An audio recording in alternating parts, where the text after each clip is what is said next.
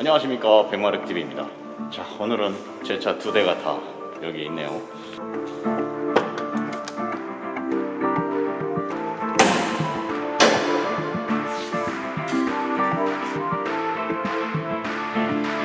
보이나요? 이놈의 엔진은 왜 이렇게 오일이 줄고 금방 까매지는 거야? 오일 가지러 다시 이제 수동 수압을 해서 차를 출고하고 Castrol EDGE Professional i30에 쓰던 대로 0W40 근데 이 roadster는 저온 점도를 좀 더 높여주는 게 누유 방지를 위해서. 그래서 오일이 주는 게 오히려 괜찮아요. 이 점도가 낮은 오일을 그냥 빨리 소진해버리고.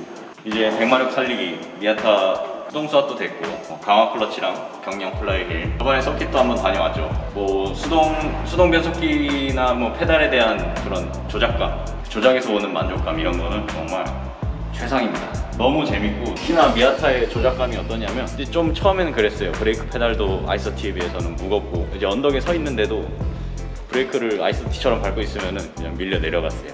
깜짝 놀라고 이랬었는데 주행하면서 그 느껴지는 페달 조작감 그 답력이나 밟았을 때 linear하게 조작할 수 있는 것 그래서 오히려 i30보다 더 부드럽게 조작할 수가 있고 원한다면 빠르게 엑셀을 떼거나 빠르게 밟거나 해서 급격한 조작을 할 수도 있고 내 발이 움직이는 대로 차가 움직여주는 그런 느낌입니다.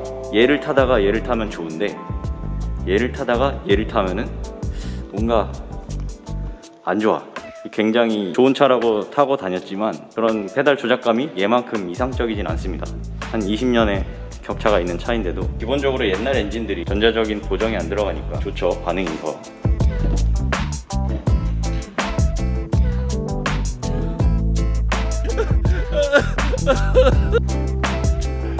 아 개판이네 이거.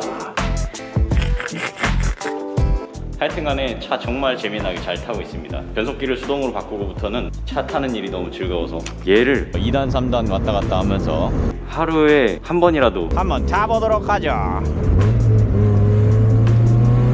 가만히 놔둘 수가 없어요. 그래서 도색은 언제 할 건데